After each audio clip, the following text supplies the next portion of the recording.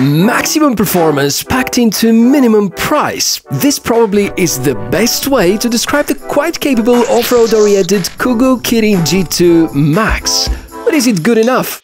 Let's inspect.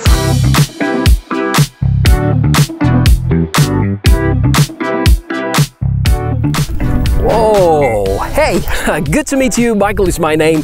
And that's the scooter that we're trying out today. It's the Kugoo Kirin G2 Max, which funny enough arrives just a few weeks after I've tested the G2 Pro.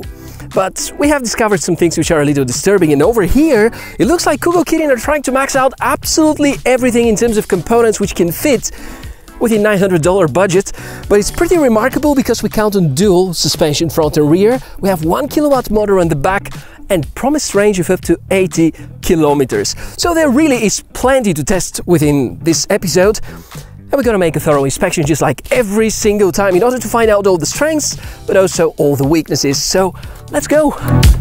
Sounds like currently Kugoo Kirin have a few good offerings with similar pricing and specifications. There are a whole lot of other electric scooters with dual suspension and 1 kilowatt or more motors, but what is common about all these more capable offerings is that they cost a lot more. From these that I've tested on the channel, Navis S65 is close to $1,200 and has a speed limit of 25 km per hour. Ninebot Max doesn't have suspension and nears the price of the Kugoo Kirin G2 Max, so the closest in terms of features, some Kaabo Mantis series and maybe some of the cheaper Vsett models. Let us unpack and set it up. The close to 35 kilogram box means that you better get a second pair of hands in order to help you with the setup, although by applying some smart tricks, you should be fine on your own too. Like cutting the box loose from the bottom and then pulling it up. It's impressive how well wrapped this scooter is. Feels like someone from Kirin's package planning department has played a lot of time with Lego. The first thing to take out is the user guide. Reading it is gonna save you a lot more time and hassle. The seat post frame, the handlebar, the charging adapter and the tools are also located at the upper side. You can put them somewhere near the scooter because they're gonna be needed. While figuring out how to tighten the handlebar, you can notice the folding mechanism. It's good, probably the best I've seen on a Kugoo Kirin scooter yet. There are four screws you're gonna need to tighten around the handlebar, and while you do it, you can notice the hook. Also for putting there a shopping bag, and at the same time it's used to hold the scooter together when it's folded. Once you have the handlebar attached, the rest is easy. Get rid of the protective styrofoam, open the stand, inspect all the joints and the screws, whether they are well tightened, and maybe you can install the seat, which I didn't do because it's gonna take away from the sporty off-road nature of the scooter. If you're planning to ride it on a flat gravel road, then fine, but going over serious bumps and having fun is not really compatible with just sitting there and watching. In terms of specs, the scooter is equipped with a 1000 watt brushless motor, has 20 amp 48 volt battery, promises up to 80 kilometers range and 55 kilometers per hour maximum speed, climbing capability of up to 30 degree hills, three different speed grades, front and rear suspension, 10-inch pneumatic off-road tires, it has a 6-grade lighting system, dual disc brake setup, very wide board and weight of around 31 kilos. In terms of specs, that's music for my ears because Kugoo Kirin, they got everything right, especially given the $900 budget at the moment. Uh, for instance, the 1 kilowatt motor is supposed to be good enough, although I still believe that having two 500 watt motors in each of the wheels is gonna give you better performance, better acceleration. Uh, in terms of suspension, that's pretty awesome because very good responsiveness, extremely smooth riding and most importantly very quiet. So after close to 200 kilometers they are still not jingling when going over bumps. That's impressive for a Kugoo Kirin scooter.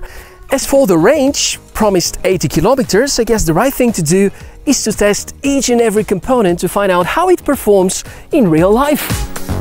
I'm gonna explore the key elements and I'm gonna start with what most people ask about, namely about the range. With Kugoo devices, I've never managed to achieve the maximums, and here it's no different. If you need to somehow get close to the 80 km threshold on a single charge, you have to ride at speed 2 with cruise control, you have to weigh no more than 70 kilos and to avoid inclines and bumps. There are very few areas in this world which can offer such ideal conditions. Mixed riding at gears 2 and 3 is gonna give me around 35 to 40 kilometers.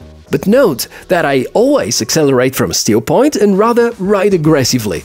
At speed mode 2 with slower acceleration and some battery-friendly habits, I can extract around 50 kilometers range.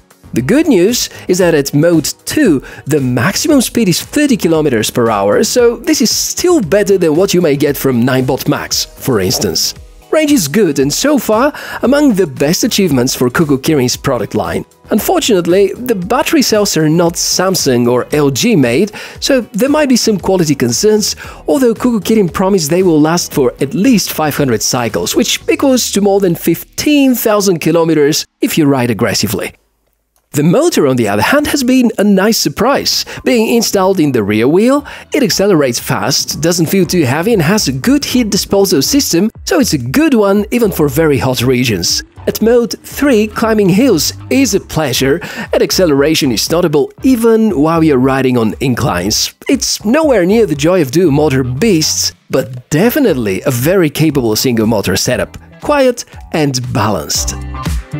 Also, notice how wide the deck is. It's rubberized, so it's not slippery, and for the first time, Kugoo Kirin used this pedal area at the back, shorter as compared to their other models. Very convenient in my opinion, especially if you want to try tricks like riding on one tire. Speaking of tires, 10 inches, off-road texture, similar feeling to what you get out of the G3 model from last year. Since the blocks are quite big, getting a puncture caused by small needles or pieces of glass are very unlikely to happen. Combined with a very responsive suspension, it is, in my opinion, the Kugoo Kirin model with the smoothest and quietest riding experience. I guess this four-arm shock absorber this time is to thank about this. Both of the wheels have a disc, therefore disc brakes, and although they're not hydraulic, they perform very well, can be fine-tuned, and are very quiet at the same time. In terms of performance, they actually are close to the popular Zoom brakes that many dual-motor scooters are equipped with. When you press either of the brakes, it's immediately shown on the display and the rear LED starts to blink as well.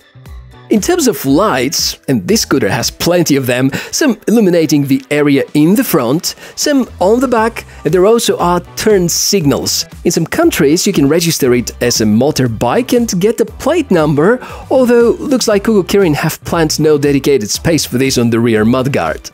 I didn't mention about the reliable folding mechanism, but here it is, quite straightforward, so you don't have to remember special tricks or pull hidden hinges to release the stem, just unscrew, press, fold. Although the scooter is rather heavy, with measured weight of around 31 kilos, in folded condition, it is okay to carry and store.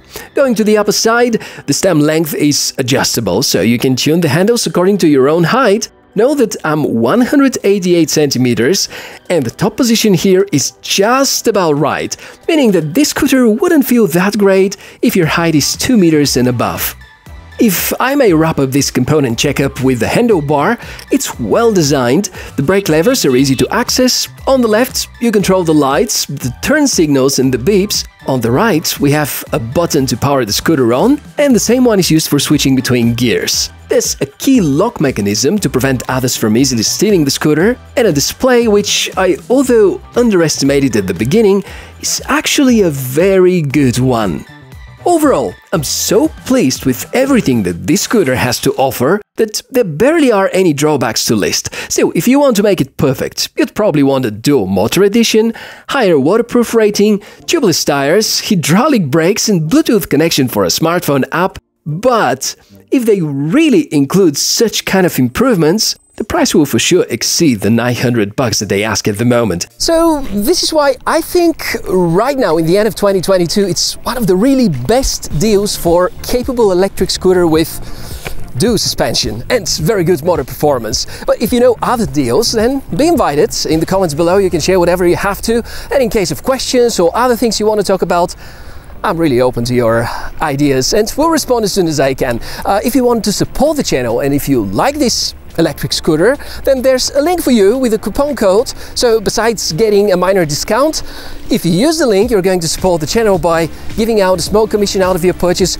at no additional cost to you. So that's been everything for today. I hope it was fun and useful.